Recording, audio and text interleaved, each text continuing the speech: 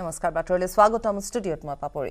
আজি হাইস্কুল শিক্ষান্ত পৰীক্ষাৰ ফলাফল ঘোষণা কৰা হ'ল। পাঁচশ সাতানব্বৈ নম্বৰ লাভ কৰি শীৰ্ষস্থানত থাকিল লখিমপুৰৰ ৰক্তোৎপল শইকীয়া।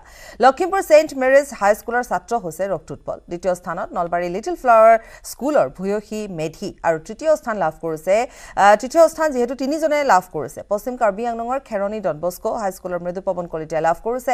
ডিব্ৰুগড় বৈৰাগী মঠৰ ডনবস্কো এইচ এছ স্কুলৰ ছাত্ৰ লবিব মুজিবে লাভ কৰিছে আৰু বিপুৰীয়া জিলাৰ লোহিত ডিক্ৰং এইচ এছ স্কুলৰ ছাত্ৰ পাৰ্থপ্ৰতিম দাসে তৃতীয় স্থান লাভ কৰিছে।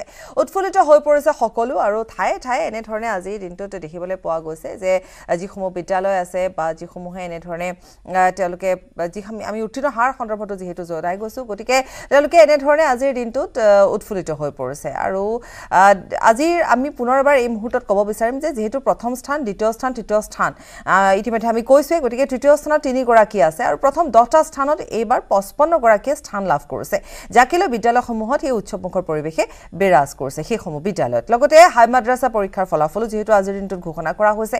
আৰু যদি উত্তীৰ্ণৰ হাৰ আমি চাওঁ তেতিয়াহ'লে আমি ইতিমধ্যে জনাইছোৱেই। আৰু ঠিক তেনেধৰণে প্ৰথম স্থানত লখিমপুৰৰ ৰক্তোৎপলৰ কথা আমি কৈছোঁ ভূয়সী নলবাৰীৰ পৰা। ইতিমধ্যে আমি সেয়া জনাইছোঁ। ৰক্তোৎপল হৈছে লখিমপুৰ ছেইণ্ট মেৰিজ হাইস্কুলৰ ছাত্ৰ। আৰু ইফালে নলবাৰীৰ লিটিল ফ্লাৱাৰ স্কুলৰ ছাত্ৰী হৈছে ভূয়সী। আনকি তৃতীয় স্থানত তিনিজনে স্থান লাভ কৰিছে। তাৰ ভিতৰত পশ্চিম কাৰ্বি আংলঙৰ খেৰণী ডনবস্কৰ হাইস্কুলৰ মৃদু পৱন কলিতাই তৃতীয় স্থান লাভ কৰিছে। ইফালে ডিব্ৰুগড় বৈৰাগী মঠৰ ডনবস্ক এইচ এছ স্কুলৰ ছাত্ৰ লবিব মুজিবে লাভ কৰিছে আৰু বিপুৰীয়াৰ লোহিত ডিক্ৰং এইচ এছ স্কুলৰ ছাত্ৰ পাৰ্থপ্ৰতিম দাসে তৃতীয় স্থান লাভ কৰিছে। পাঁচশ সাতানব্বৈ নম্বৰ লাভ কৰি শীৰ্ষস্থান লখিমপুৰ ৰক্তোৎপলে লাভ কৰিছে।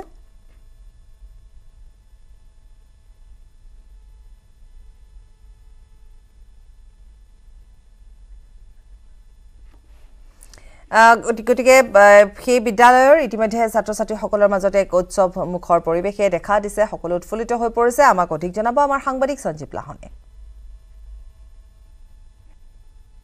হয় ঘোষণা হোৱা হাইস্কুল শিক্ষান্ত পৰীক্ষাৰ যি শীৰ্ষস্থান দখল কৰিছে ৰক্তোৎপল শইকীয়াৰ কাষত মই বৰ্তমান উপস্থিত আছোঁ। আৰু প্ৰথমেই ৰক্তোৎপলক নিউজ এইটিন অসম নৰ্থ ইষ্টৰ ফালৰ পৰা অভিনন্দন জনালোঁ শুভকামনা জনাইছোঁ। কেনেকুৱা প্ৰথম প্ৰতিক্ৰিয়া কেনেকুৱা লাগিছে? ইমান এটা ভাল ফলাফল পাই কেনেকুৱা লাগিছে? হয় মই সকলোকে ধন্যবাদ জ্ঞাপন কৰিব গৈছোঁ। হয় এই ফলাফলটো মোৰ বাবে বিশ্বাস কৰিবলৈ টান নিচিনা হৈ পৰিছিল। কাৰণ যদিও স্থানৰ তালিকাত মই নিজৰ নামটো থাকিব বুলি আশা কৰিছিলোঁ কিন্তু মই তল পিনে থাকিব বুলি ভাবিছিলোঁ। কিন্তু এতিয়া যে এই শীৰ্ষস্থান দখল কৰিছোঁ সেই কথা তাহানিও ভবা নাছিলোঁ। গতিকে মনৰ অনুভৱ মই ভাষাৰে ব্যক্ত কৰিব নোৱাৰোঁ। সকলোকে আমি সোধোঁ যিসকলে স্থান পায় ছাত্ৰ ছাত্ৰী ইয়াৰ অন্তৰালত। প্ৰথমে কাৰ নাম ল'ব বিচাৰিবা? নিশ্চয় তোমাৰ প্ৰথম প্ৰচেষ্টা আছে আত্মবিশ্বাস আছে দৃঢ়তা আছিলে। তাৰপিছতে তোমাৰ ইয়াৰ অন্তৰালত এই সফলতাৰ অন্তৰালত কাৰ নাম ল'ব বিচাৰিবা? হয় মই প্ৰথমতে নাম ল'ব বিচাৰিছোঁ মোৰ স্কুল ছেণ্ট মেৰিজ হাইস্কুলৰ শিক্ষাগুৰুসকল আমাৰ ছিষ্টাৰসকল বা মেনেজমেণ্ট টীম বা আমাৰ স্কুলৰ লগত জড়িত সকলো কৰ্মচাৰীসকল।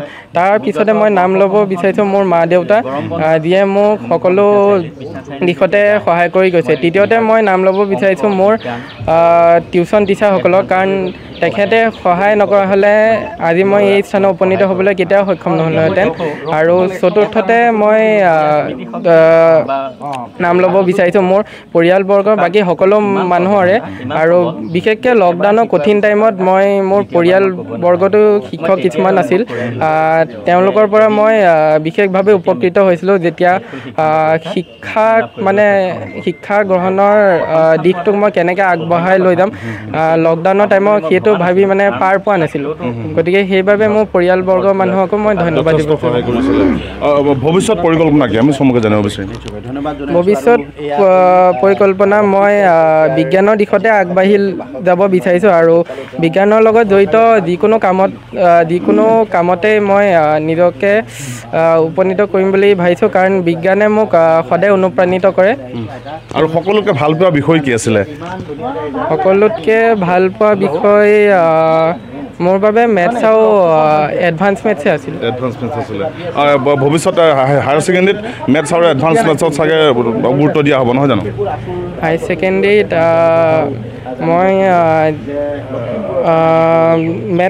মেথছতে ল'ম P C M physics chemistry maths এইকেইটা ইয়া- ইয়াৰ উপৰিও পঢ়া শুনাৰ উপৰিও কিতাপ পত্ৰৰ উপৰিও কিহত আছিলে নিচা বা কৰি কৰি কি ভাল লাগে আজৰি সময়ত? হয় আজৰি সময়ত মাজে মাজে ড্ৰয়িং কৰি ভাল লাগে আৰু বিশেষকৈ গান শুনি বেছি ভাল লাগে। কাৰ গান ভাল লাগে? বিশেষকৈ মই অসমীয়া গান শুনি বেছি ভাল পাওঁ। জুবিন গাৰ্গ বা এতিয়া আমাৰ নতুন নতুন গায়ক বহুত আহিছে যেনে সপোন ৰাজ কোঁৱৰ তেখেতলোকৰ গান শুনি মই বেছি ভাল পাওঁ। গোৱা মেলাত বা অভিনয়ত কিবা ৰাপ আছে নেকি? অভিনয়ত আহ, হয় গোৱা মেলাত নাই গান শুনি বেছি ভাল পাওঁ। আৰু অভিনয়ত মোৰ ইমান ৰাপ নাই। আকৌ ধন্যবাদ জনাইছোঁ। নিউজ এইটিন অসম নৰ্থ ইষ্টৰ তৰফৰ পৰা উজ্জ্বল ভৱিষ্যত কামনা কৰিলোঁ। মই পিতৃ আছে পিতৃৰ লগত কথা পতাৰ যত্ন কৰিম। আটাইতকৈ সুখৰ খবৰটো আজি আপুনি পাইছে। আজিৰ দিনটোত আটাইতকৈ আপোনাৰ জীৱনত হয়তো ভাল লগা সময় নহয় জানো আজি? নমস্কাৰ। কেনেকৈ প্ৰতিক্ৰিয়া ব্যক্ত কৰিব? এইটো মই ভাষাৰে আপোনাক ক'ব নোৱাৰোঁ। মোৰ যি মানে কি এটা ভাৱ হৈছে সেইটো মই আপোনাক ক'ব নোৱাৰিম। কেনেকুৱা আছিলে? ৰক্তোৎপল পঢ়াৰ সৰুতে সৰুৰে পৰা কেনেকুৱা আছিলে? আপুনি ভাবিছিলেনে যে এনেকৈ একেবাৰে অসমৰ ভিতৰত প্ৰথম স্থান পাবলৈ সক্ষম হ'ব? সি ক্লাছ ওৱানৰ পৰা আপোনাৰ টেনলৈকে ক্লাছত সদায় অল ছেকশ্যনৰ ভিতৰত ফাৰ্ষ্ট হয়। ফাৰ্ষ্ট হয়। সি মানে দ্বিতীয় হৈ পোৱা নাই। আৰু তেতিয়াই ভাবিছিলোঁ চাগে। তেতিয়াই ভাবিছিলোঁ কিবা এটা হ'বগৈ চাগে। আজি আপুনি নিতান্ত সুখী আমিও গম পাইছোঁ। মাতৃ আছে কথা পতাৰ যত্ন কৰিম। সন্তানৰ কৃতিত্বৰ আঁৰত মাকৰ যিটো ভূমিকা একদম অনস্বীকাৰ্য সকলোৱে জানে যে মাকৰ এটা বিশেষ ভূমিকা থাকে। নিশ্চয় আপোনাৰো আছিল? আছিলে আছিলে হয়। সৰুৰ পৰাই তাক মই পঢ়াৰ প্ৰতি অনুপ্ৰাণিত কৰোঁ। বিশেষকৈ আজি মোৰ দেউতা থকা হ'লে বহুত আনন্দিত হ'লহেঁতেন দেউতাই তাক মানে এক বছৰ ডেৰ বছৰৰ পৰাই অকল মানে তাক নাম চাম লিখিবলৈ সি তেতিয়াই ৰক্তোৎপল হয়কৈ ইমান টান নামটো লিখিব পাৰিছিলে। সৰু পৰাই তেতিয়াই আমি মানে ভাবিছোঁ ল'ৰা ডাঙৰ হ'লে কিবা এটা হ'বগৈ। আৰু তাৰ ইণ্টাৰেষ্টটো অনাই দিলে বিশেষকৈ মোৰ দেউতাই। তাৰপৰা লাহে লাহে আৰু ময়ো তেনেকৈ তাক যি বিচাৰে মানে পঢ়াৰ ক্ষেত্ৰত প্ৰতিটো এক্সামত সৰু থাকোঁতে মই পিচ বৰ্ড আনি দিওঁ পেঞ্চিল বক্স এইকেইটা মানে কমন সৰু থাকোঁতে। সেইকেইটা আনি দিয়াৰ লগে লগে তাৰ মানে উৎসাহটো বৰ বেলেগ ধৰণৰ হৈ যায় সৰু থাকোঁতে। প্ৰত্যেকটো ইউনিট টেষ্ট হওক হাফ ইয়াৰলি এক্সাম হওক যি পাতে মই মানে আনি দিওঁ। আৰু সেইটো পোৱাৰ লগে লগে ইণ্টাৰেষ্টটো তাৰ আহি যায় আৰু পঢ়াত পঢ়িবলৈ ক'ব নালাগে। নিজে নিজে পঢ়ে। আৰু সি যিটো মানে শুনে একদম ব্ৰেইনত সোমোৱাই লয়। মানে দ্বিতীয়বাৰ বুজাব নালাগে। হয়। এই আছিল শীৰ্ষস্থানপ্ৰাপ্ত ৰক্তোৎপল শইকীয়াৰ মন্তব্য। কেৱল ৰক্তোৎপল শইকীয়াই নহয় লখ- লখিমপুৰৰ ভিতৰত ছজনকৈ কীৰ্তি ছাত্ৰই স্থান লাভ কৰিছে। সকলোৰে আমি মনৰ কথা আমাৰ দৰ্শকসকলক জনাবলৈ যত্ন কৰিম। আৰু এয়া আছিল প্ৰথম স্থান প্ৰাপ্তগৰাকী ৰক্তোৎপল আৰু ইফালে পাঁচশ ছয়ানব্বৈ নম্বৰেৰে দ্বিতীয় স্থানত আছে নলবাৰী লিটিল ফ্লাৱাৰ স্কুলৰ ছাত্ৰী ভূয়সী মেধি। ভূয়সী মেধিৰ সন্দৰ্ভতো আমাক জনাব আমাৰ সাংবাদিক হীৰক জ্যোতি মালাকাৰে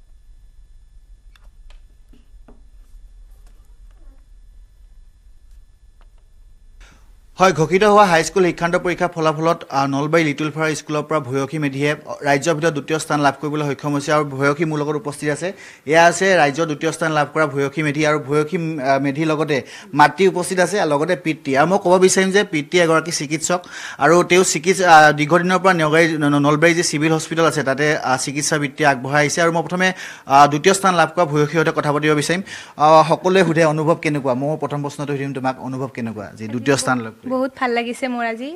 বহুত যথেষ্টখিনি কষ্ট কৰিছিলোঁ আৰু সেইমতে ফলাফলো পাইছোঁ। ফলাফল পাইছা।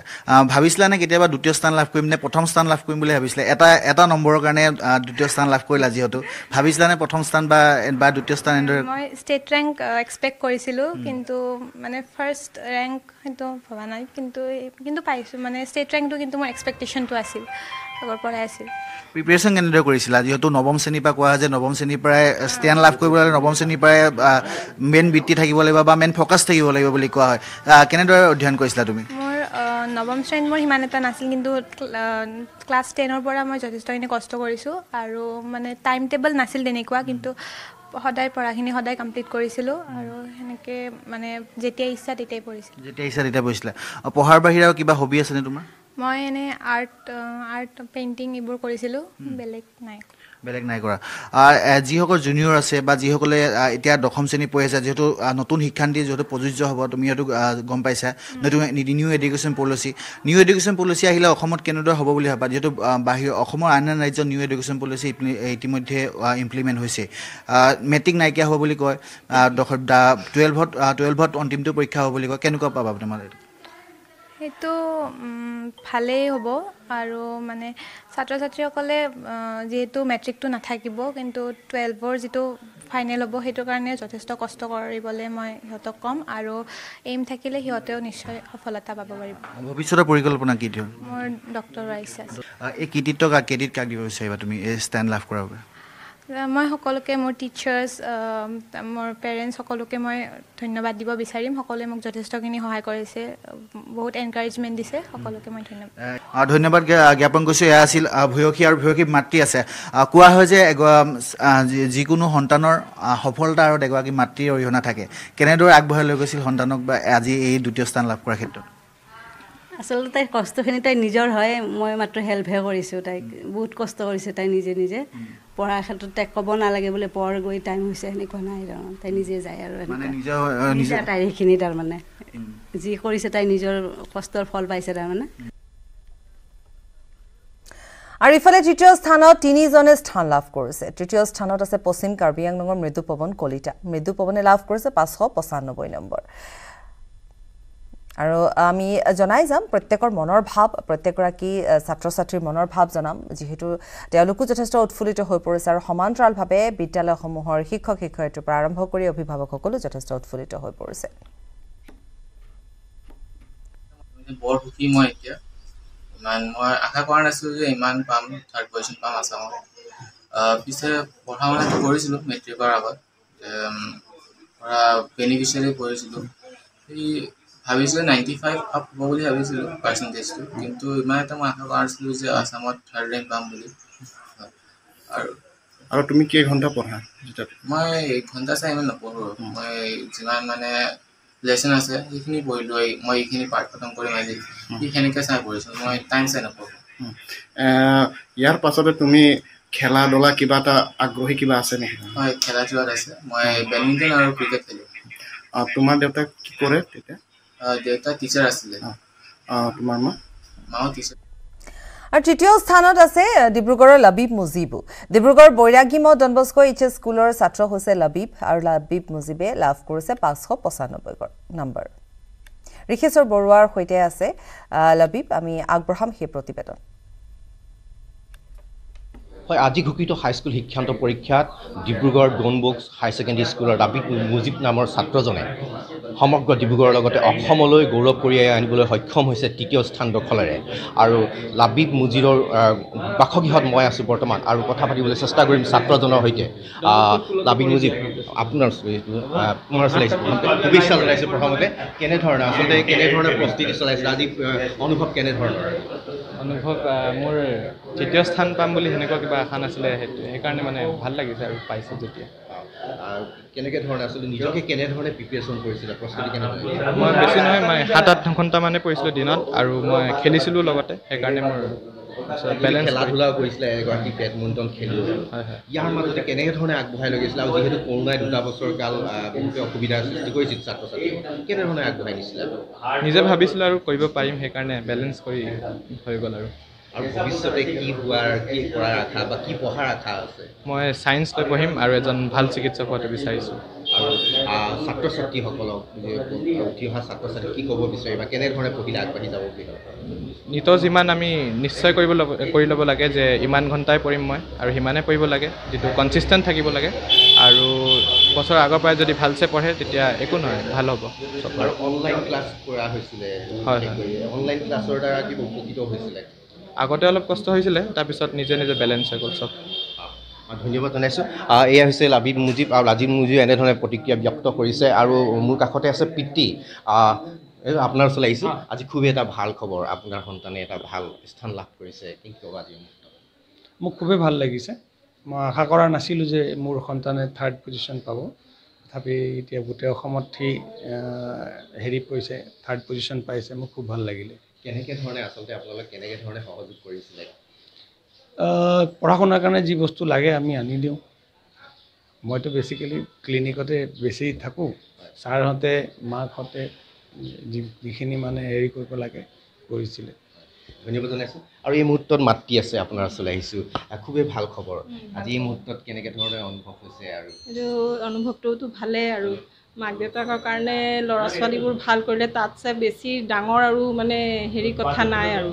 মানে সেই আজি খুবেই ভাল লাগিছে আৰু। আৰু ইফালে পাঁচশ চৌৰান্নব্বৈ নম্বৰ লাভ কৰি চতুৰ্থ স্থান দখল কৰিছে যোৰহাটৰ সমাদৃতা শৰ্মাই। যোৰহাটৰ বাঘচুঙৰ ডনবস্ক হাইস্কুলৰ ছাত্ৰী হৈছে সমাদৃতা। আমাৰ সাংবাদিক গৌতমৰ সৈতে আছে সমাদৃতা আগবঢ়াম প্ৰতিবেদন। সকলোৱে কৈছে যে এইবাৰ বহু বছৰৰ মূৰত মেট্ৰিকৰ ৰিজাল্ট দিয়া যেন লাগিছে।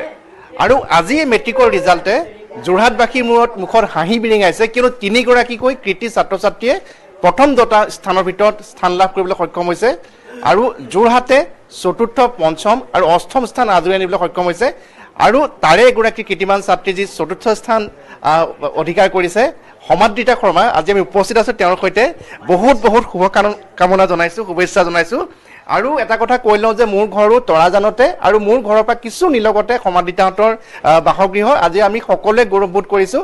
আৰু প্ৰথমে জানিম যে এই সফলতাৰ আঁৰৰ কাহিনী কি। হয় মই দিনৰ যথেষ্টখিনি সময় পঢ়াতে পঢ়াতে কনচেনট্ৰেট কৰিছিলোঁ।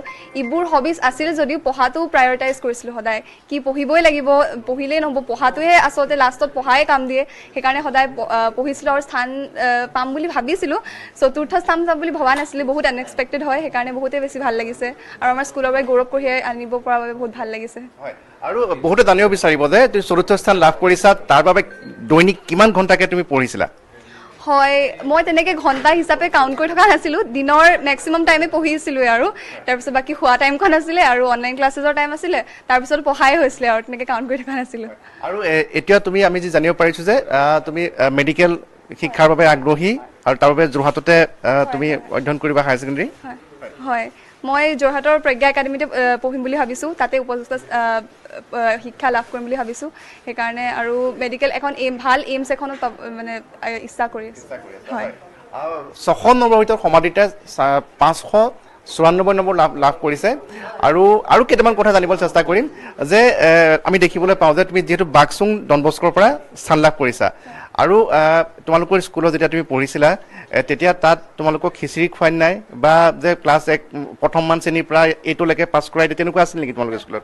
নাই নাই তেনেকুৱা নহয়। ফাৰ্ষ্টৰ পৰা মানে টেন্থ ক্লাছলৈকে আছিলে এতিয়া ইলেভেন্থ আৰু টুৱেলথো খুলিছে স্কুলতে। তাত এনেইতো পাছ কৰাই নিদিয়ে চাগে? নিদিয়ে নিদিয়ে। বহুতে বেছি ষ্ট্ৰিক্ট আৰু বহুত বহুত কম্পিটিশ্যন আছিলে আৰু টিচাৰ্ছবোৰ মানে বহুত মানে যাতে আমাৰ পিছলৈ ভাল হয় সেইকাৰণে বহুত মানে টানি পেলাই চাইছিলে। সেইটো বাবে আৰু এতিয়া এনেকুৱা বহুতে বেছি পঢ়িব লগা হৈছিলে বহুত কম্পিটিশ্যন বহুত ডিচিপ্লিন হয় স্কুলখন বাট ষ্টিল টিচাৰ্ছ বহুত ফ্ৰেণ্ডলি হয় সেইকাৰণে মানে ভয়ো নালাগে। সেইকাৰণে মানে পূৰা মানে ফ্ৰেণ্ডলিকৈ কথা পাতিব পাৰি আৰু। হয়। মাতৃ আছে আৰু যিহেতু এই সফলতাত মাতৃ আৰু পিতৃৰ বহু অৰিহণা আছে আৰু মাতৃ এগৰাকী শিক্ষয়িত্ৰী বাইদেউ বহুত বহুত শুভেচ্ছা জনাইছোঁ। কেনেকৈ পঢ়িছিলে কেনেকৈ গাইড দিছিলে। কাৰণ সকলোৱে জানিবলৈ বিচাৰে যে নিজৰ নিজৰ সন্তানক কেনেধৰণে গাইড দিলে এনে সফলতা লাভ কৰিব পৰা যায়। তাইৰ পঢ়াৰ ক্ষেত্ৰত বহুত চিনচিয়াৰ আছিলে। একাগ্ৰতা আছিলে বহুত। সেইকাৰণে তাই সদায়ে নিয়মীয়াকৈ পঢ়ে। তাই ক্লাছ ফাইভ মানৰ পৰা এই ক্ষেত্ৰত সদায় ৰেগুলাৰলি তাই পঢ়া শুনা কৰে সৰুকালৰ কথা মই নকওঁৱেই সৰুতেও তাই বহুত চিনচিয়াৰ মই তাইক কোনো দিনে আমি পঢ়গে বুলি ক'ব লগা হোৱা নাই। তাই ৰেগুলাৰলি পঢ়া শুনা কৰে সদায় নিজৰ কাম নিয়মীয়াকৈ কৰে আৰু পঢ়াৰ ক্ষেত্ৰত তাই সদায় মনোযোগ দিয়ে আৰু সেইকাৰণে তাই সদায় এটা ভাল ফল লাভ কৰি আহিছে। স্কুলৰ পৰীক্ষাবিলাকতো তাই সদায় আগবাঢ়ি থাকে আৰু তাইৰ মনত কম্পিটিটিভ মাইণ্ড এটা আছে মানে প্ৰতিযোগিতামূলক এটা ভাৱ আছে। সেইকাৰণে তাই মই ভাবিছিলোঁ তাই যে এইবাৰ দহটা স্থান দিলে পৰীক্ষাও ভালকৈ হৈছে তাই হয়তো ভাল এটা স্থান দখল কৰিব পাৰিব।